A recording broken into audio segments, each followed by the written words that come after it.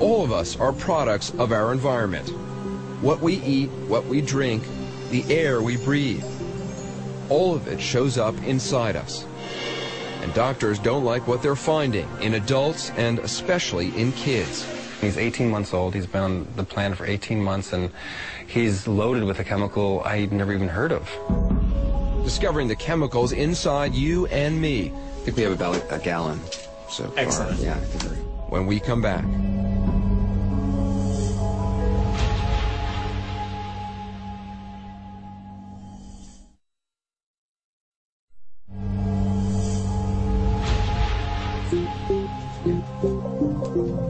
I don't like going to the doctor, so this is no fun. Not a big fan of needles. I'm here for what's called a body burden test. It's not the most pleasant of procedures. It'll take 120 cc's of blood, almost a pint, for scientists to look at traces of 250 industrial chemicals in my body.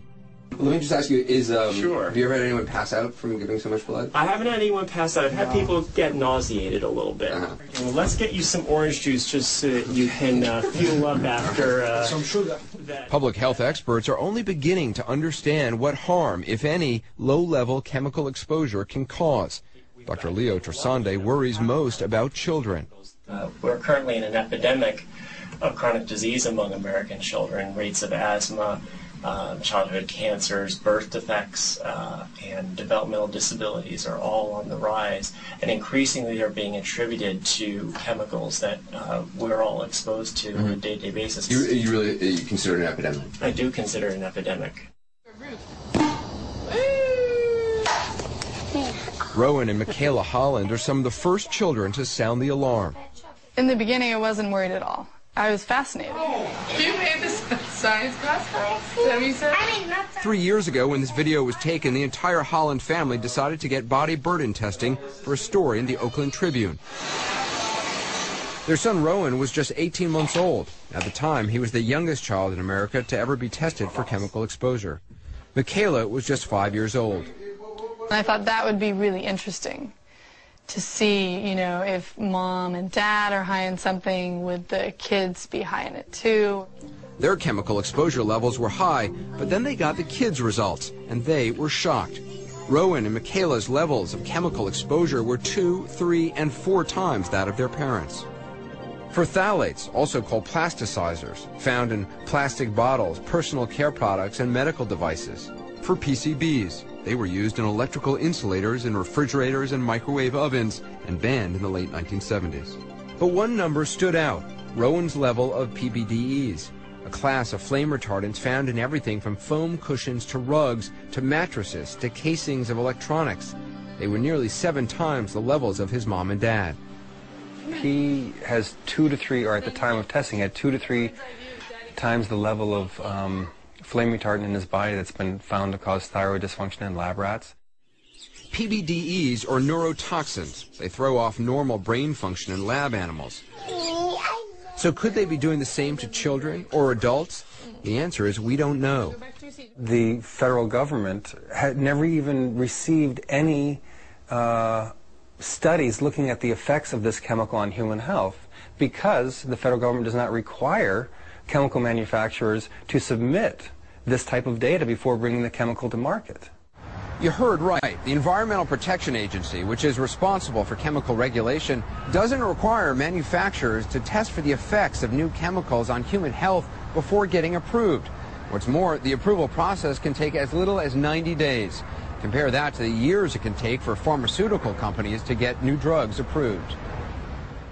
The EPA declined to do an interview with us, but told us in an email, quote, if during the new chemical review process EPA determines that it may have concerns regarding risk or exposure, the EPA has the authority to require additional testing.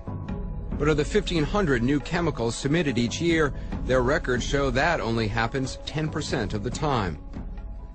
Back at New York's Mount Sinai Medical Center, it's taken two months, but I'm finally about to learn the results of my body burden test from Dr. Leo Trasande.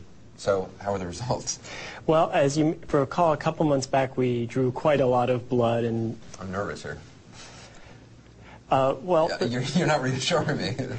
We tested you for 246 synthetic chemicals, and you tested positive for more than 100. Wow. Even a chemical way back to the 1970s, DDT, mm-hmm. which we detected in your body. So I have DDT in my body. You have DDT in your body. PCBs, another chemical that was banned in the 1970s. I got it. You've got it as well. Doctors think I probably got the DDT from a trip to Africa. Some countries there still use it to kill mosquitoes. As far as the PCBs, it has something to do with where I grew up, New York City. Growing up on the street, eating fish, uh, those fish probably came from the Hudson River. Right. It, the, back in the 1970s, there was a major uh, dump of PCBs into the Hudson River. The uh, PCBs were eaten up by fish. which were then, of course, eaten by me. Next, my results for monobutyl phthalates, the stuff found in cosmetics, like the makeup I put on before going in front of the cameras. I tested above the 95th percentile. So what does that mean? The most al- the alarming one is the potential for infertility. We asked Jack Gerard, the president of the American Chemistry Council, if phthalates could cause infertility. There's no risk to the human health. Just because we find chemicals in the body doesn't mean that it causes disease. But some scientists disagree and they point to this. These flies may look like comets, but they're actually sperm. The sperm on the right was exposed to higher levels of phthalates. It has a longer comet-like tail, which indicates more general DNA damage. I suspect that the reason that you've got a very high level of phthalate is you probably put a lot of makeup on a lot of the time. So, so this is a potential lawsuit against CNN right here. I mean, you can't say for certain what the effects are of these chemicals in somebody's system. What little we know is just the tip of the iceberg. And unfortunately, I think that is enough to, to begin to act and proactively intercede and prevent chemical exposure.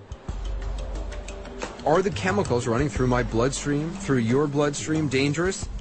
The bottom line seems to be no one really knows. The question is, is that good enough?